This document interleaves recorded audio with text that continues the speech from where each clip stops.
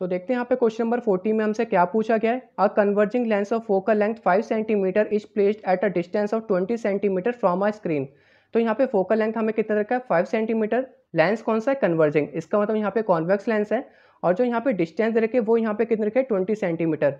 Distance किसकी दे रखी है? स्क्रीन से दूरी दे रखी है। क्या दे रखी है यहाँ पे? जो लेंस और स्क्रीन की जो दूरी है, वो यहाँ पे कितनी है? ट्वेंटी सेंटीमीटर स्क्रीन मतलब जहाँ पे हमारी इमेज बनेगी। तो हम यहाँ पे एक्चुअली कह सकते हैं, जो इमेज डिस्टेंस होगी, वो हमारे यहाँ पे क्या होगी? ट्वेंटी सेंटीमीटर होगी। पूछा क्या गया यहाँ पे?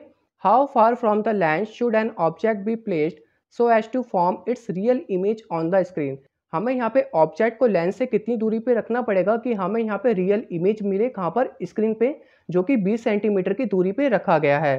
तो करते हैं यहाँ पे इसको सॉल्व तो देखते हैं यहाँ पे हमें क्या क्या गिवन है। तो सबसे पहले यहाँ पे फोकल लेंथ गिवन है। एफ़ इक्वल टू प्लस का फाइव सेंटीमीटर तो यहाँ पे कॉन्वेक्स लेंस के लिए हम यहाँ पे क्या लेते हैं? फोकल लेंथ पॉजिटिव का लेते हैं। और जो इमेज डिस्टेंस है, वो यहाँ पे क्या होगी? प्लस की ट्वेंटी सेंटीमीटर क्योंकि इमेज हमारी यहाँ पे क्या रियल इमेज बन रही है।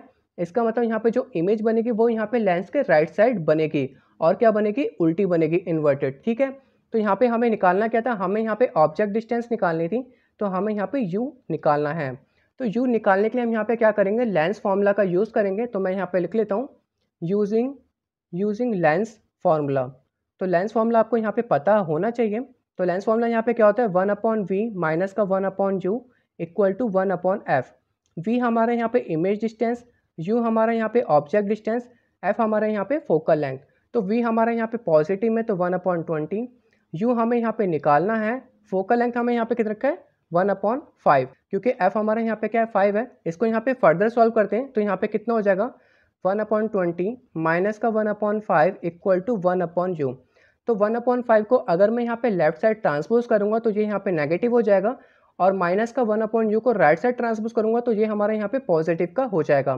फर्दर सॉल्व करेंगे तो यहाँ पे एलसीएम हमारा कितना आएगा? ट्वेंटी आएगा। And one minus five four जो twenty equal to one upon U तो यहाँ पे कितना आ गया हमारा? माइनस का three upon twenty equal to one upon U. Cross multiply करेंगे तो यू इक्वल टू यहाँ पे कितना हो जाएगा? माइनस का ट्वेंटी बाय थ्री हो जाएगा। अगर मैं यहाँ पे इसको डिवाइड करता हूँ, ट्वेंटी को थ्री से तो कितना आएगा? थ्री सिक्स जा एटीन, फिर बचा कितना हमारा यहाँ पे? टू पॉइंट लगा के ज़ीरो ले सकते हैं। थ्री सिक्स जा एटीन तो ये हमारे यहाँ पे क्या होगा? Six point six six centimetre हो जाएगा। तो मैं यहाँ पे लिख सकता हूँ यू इक्वल टू नेगेटिव का six point six six centimetre इसका मतलब जो ऑब्जेक्ट की दूरी होगी, वो यहाँ पे कितनी होगी? Six point six six centimetre की दूरी भी होगी। जब भी जाके हमें यहाँ पे क्या मिलेगा? रियल इमेज मिलेगा, जो कि 20 सेंटीमीटर की दूरी पे बनेगा और वो भी उल्टा। तो होप आपको ये वाला आंसर समझ में आ गया होगा। अब हम चलते हैं अपने नेक्स्ट क्वेश्चन की तरफ़।